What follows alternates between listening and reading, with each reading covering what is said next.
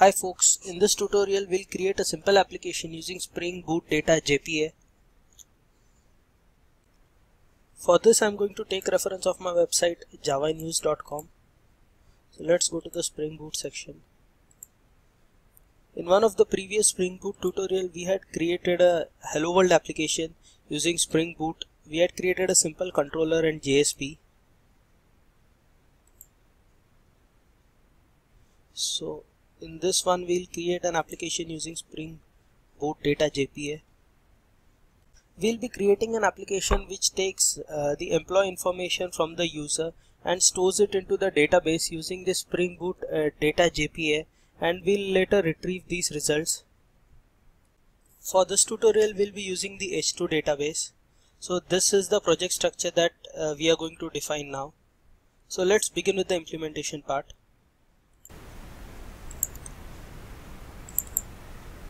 In the Eclipse, create a simple Maven project.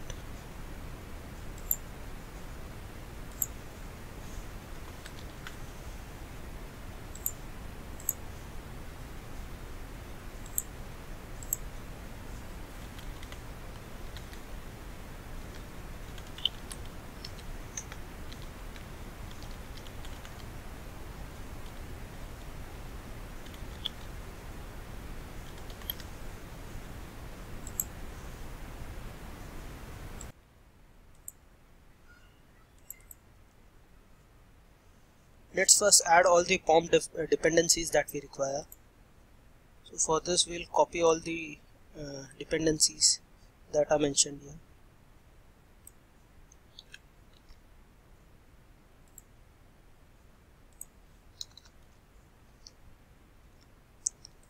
So we have the spring boot starter web because we are going to create a web application.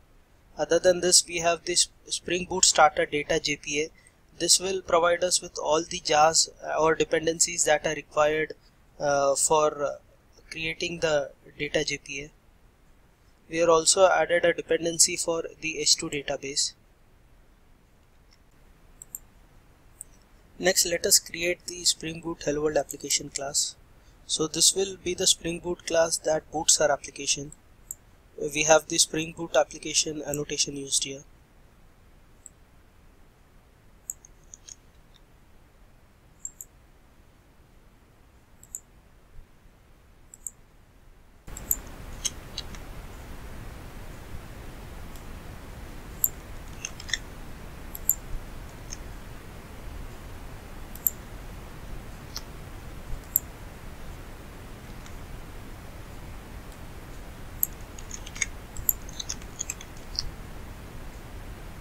Let's now build this project. So run the command maven install.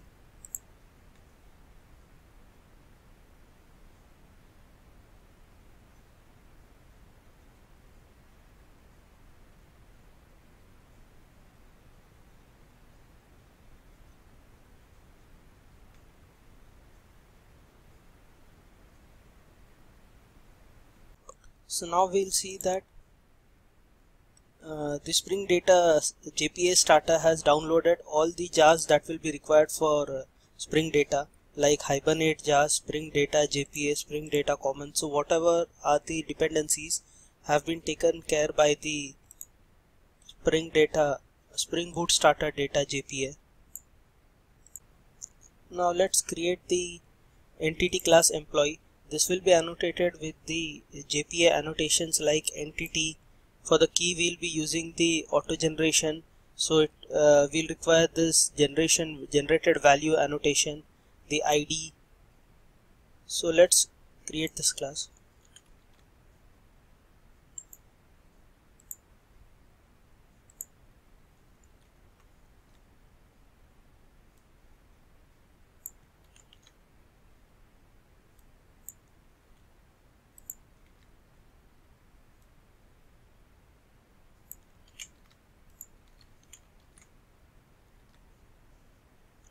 next we'll be creating the controller. The controller uh, will be exposing the uh, REST APIs for performing the various operations like uh, adding new employee and also uh, taking a look at which all employees have been added.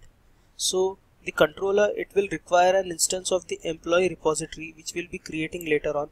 The employee repository will be will have the responsibility of storing the data into the h2 database. So let's create this first the controller.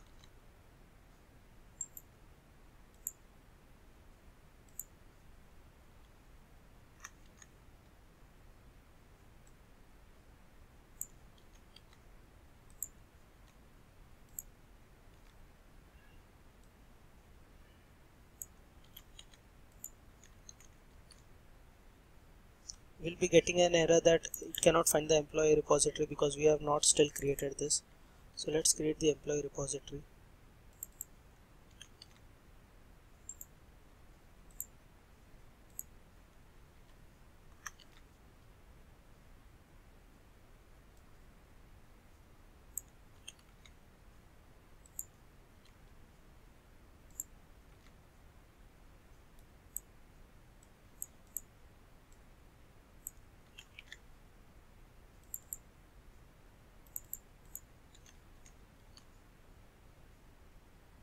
yeah now the error has gone. So currently this will be a flow. Whenever the user types in the uh, browser add a new employee.html we have exposed a get web service. So the user will get a form new employee form. In this form the user will enter the details of the employee.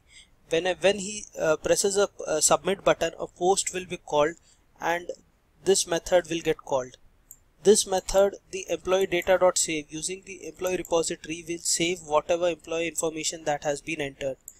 This uh, information is saved using the Spring Data JPA. We'll uh, have a look at this employee repository uh, a bit later. And also the user will be redirected to the list employees.html which will show which all employees have been added to the database. Next let us have a look at the employee repository.java. The employee repository class is an interface that extends the Spring Framework class JPA repository. So it extends the JPA repository and JPA repository is a generics and it takes the following two parameters as arguments. The first parameter is what type of object uh, will this repository be working with. So in our case the object that this repository will be working with will be the employee object and the other parameter is the ID will be of what type of object. So in our employee class we have defined the id of as uh, type long. So here we'll have to specify long. So this uh, employee repository class uh, we don't have to specify any operations like save delete and all. Uh, the spring data jpa takes care of all these operations next let us create the uh, web pages that we have specified here. The first we'll be creating will be new employee.jsp so inside this I'll have to create some folders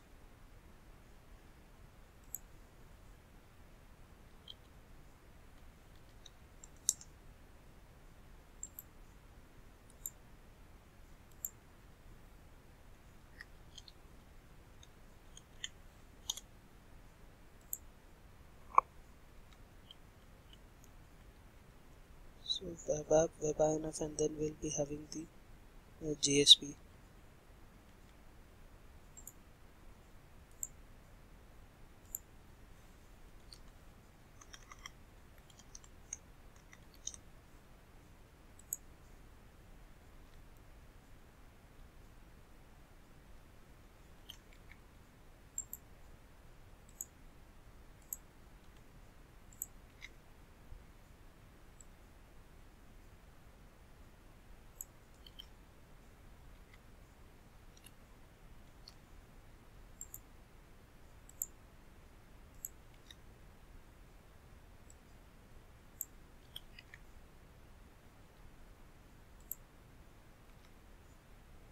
finally in the application dot properties we'll have to specify these two properties. The first one is it tells that uh, since a year we are going we are just specifying new employee. So uh, the model and view will require uh, the exact location of the JSP pages that we are going to use. So for this we'll require these two properties. I've explained this in detail in the first hello world tutorial and this properties we require it for the data source. So copy this.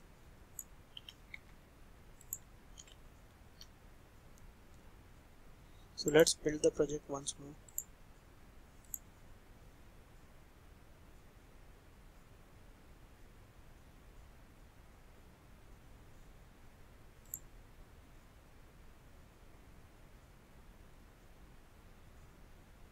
So now let's start the application run this as a java application.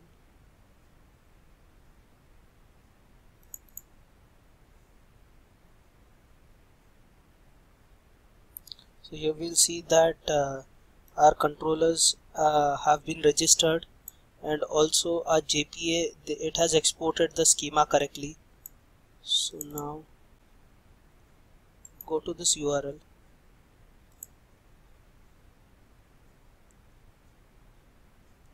here we are able to see this page add new employee.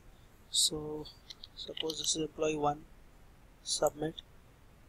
So it has correctly navigated to the list employees.html and here we can see that our employee name is employee 1 I have not uh, added the department so it is showing as null. So let's go back to the add new employee page and suppose here now I add the second employee submit. So as you can see that our employees they are getting added correctly so our application is working correctly. Hope you have understood this tutorial. Uh, the source code for this tutorial it can be downloaded from here. Thank you